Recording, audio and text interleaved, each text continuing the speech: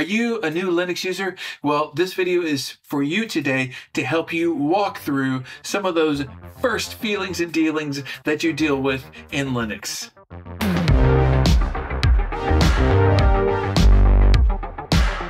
Hi, my name's Jeremy. This channel's about tech, go figure. And today we're going to be talking to you, a new Linux user. And if you're not a new Linux user and you decided to watch this video, uh, the comments are ready and available for you to help out and give some tips and tricks for new Linux users and what to look out for. But I really wanted to focus on the new Linux user today uh, and share some of my experiences and hopefully help you out along the way to make it as smooth and easy as possible to embrace using Linux. Linux is such a great operating system, such a great way to do your computing on a desktop or a laptop or whatever device you've got that you want to put Linux on. Linux is everywhere. But today, if you've installed Linux for the first time, we're really talking about desktop Linux, okay? I'm going to be speaking from my own perspective, my own experience, and experience using Linux personally and helping others use Linux along the way. We want to make sure that you've already installed Linux, uh, and that's what this video is. You've freshly installed Linux, and now you're ready to use it. Um, if you haven't, I have a Linux migration checklist. Uh, it's a two-part series that you can check out to see what you need. Essentially, you need to make sure you've got your hardware is ready to be incompatible to be used, and the software that you need is going to be ready to go and to be able to be used in Linux. All right. You may feel like you have to have a certain technical knowledge or a higher technical knowledge to be able to use Linux. When really, if you have the technical knowledge enough to be able to put an OS, an operating system on a USB drive, boot it on your system, and to be able to install that operating system, you have enough technical knowledge to start to use Linux day to day. With experience and time and effort, your knowledge will grow and you will be able to grow and learn whatever you want to or not want to. I used to feel like you had to make sure everything in the terminal. I had to know every command. I had to know uh, and read every man page to be able to understand what system I'm using. And it's so vast. You will get frustrated. Something is not going to work right. Something is going to start getting quirky on you when you uh, go through an update. Something may break. Something may not be where it was before, and you don't understand why. That's okay. There's plenty of resources for you to use, but don't let that frustration take you out and just stop using Linux. If you've set yourself up and made sure that all your hardware works, that the software that you need works, and you've chosen a distribution that's going to work for you, I really think you should be okay, but there still will be frustrations. Keep fighting through. It's going to be worth it. But it's okay if you're frustrated or feel like you don't know everything. That is something that I deal with. I'm well into my my 40s, and I feel that way about pretty much everything in life. The more I learn and try to understand, the more I realize I don't understand anything. Part of getting comfortable in Linux is to understand and to use Linux distributions to your advantage. I treated Linux distributions and live environments kind of like speed dating. No, I never had to really choose one. You don't have to get married to one forever. It's good to get to know one and really feel comfortable with one even if you've just installed, when you've just installed Linux onto your system, go ahead and still keep that USB drive and try new Linux distributions as much as you can stomach and see what you like and what you don't like. At this point, being able to shift a system to be exactly the way you want it to may not be the best time. Maybe lean in to what people have already chosen as tools, applications, and, and user interface as a good base point for what already works well. Maybe you don't like this desktop environment, but appreciate these tools on this Linux distribution. There's a good chance that someone has taken the base of Ubuntu and added this desktop environment or baked in these drivers or whatever it is, put them together, and you may have saved yourself some time as far as effort and heartache to get something to work the way you want to. I like to look at distributions like a bakery right? So each Linux distribution is like chocolate cake.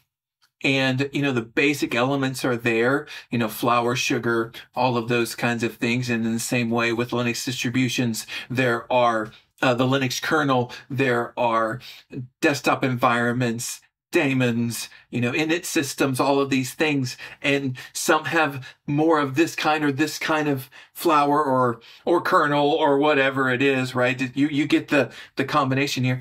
If you were to take 10 bakeries and get their chocolate cake, you would have 10 pieces of hopefully delicious chocolate cake, but they would each taste different. One would be a little sweeter or would have, you know, use a different kind of chocolate. You know what I'm saying? And distributions are the same way. So just continue to have fun and install Linux distributions that have live environments, boot them into your system in that live environment and kind of get a sense of things because I think that's going to really help you get a sense of what's important and what you are going to need from your Linux distribution. Distribution, you don't have to learn everything. Learn what you need and what you're interested in. There's so much information. It is overwhelming.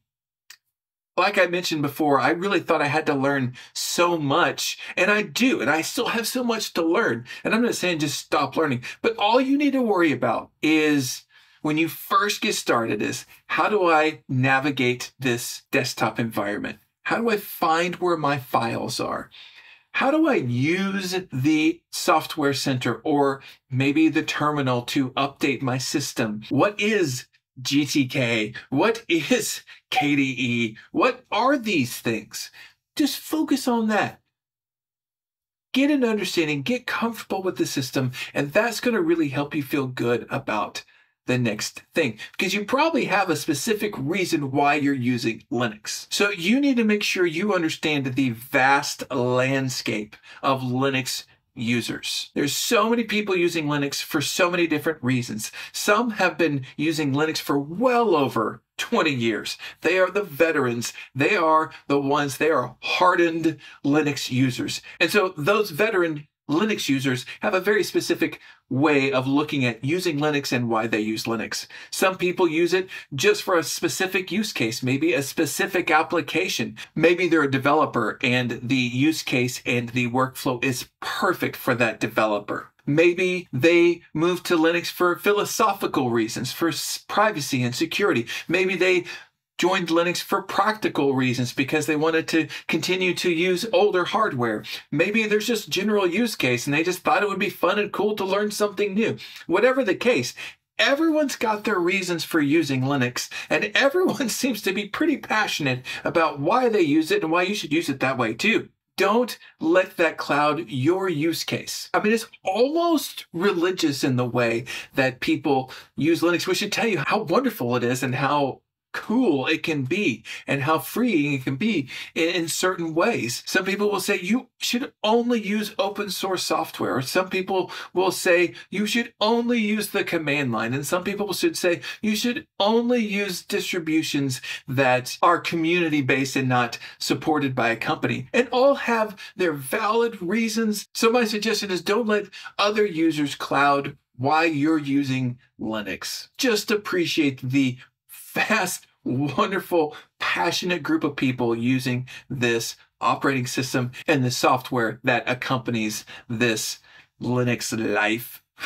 The command line is great, useful, and essential to become a power user, but it's not necessary for day-to-day use. There's so many user-friendly Linux distributions, so don't let the command line be what scares you away from Linux you can get warm and cozy in Linux before you feel the need to start to use the command line. There's a good chance that at some point you're going to need it. But don't let that be what scares you. And you can access it. My wife uses a Linux computer every day and she never has to access the command line. I'm the only one who's ever used the command line on her computer. So don't worry about that. So you've gotten going, you're in this. I really suggest you find ways to contribute whenever you can once you get comfortable and you've really gotten a sense of Linux. Maybe you can help beta test and take notes of bugs. Maybe you can maintain a package. Maybe you can donate to projects. Whatever it is, find a way to contribute in Linux. There is a communal nature in desktop Linux. It's a journey, a Linux journey. Have fun with it. Enjoy it.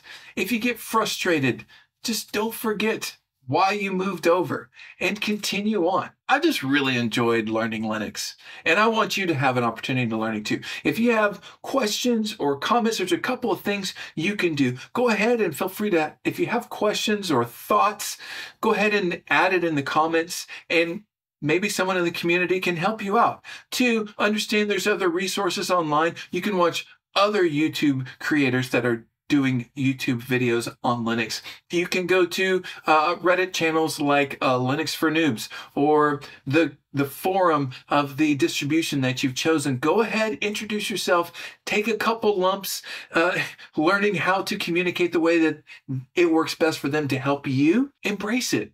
It's going to be fun. Sincerely, welcome to the Linux community. Let's continue to do this Linux thing, and I'll see you next time.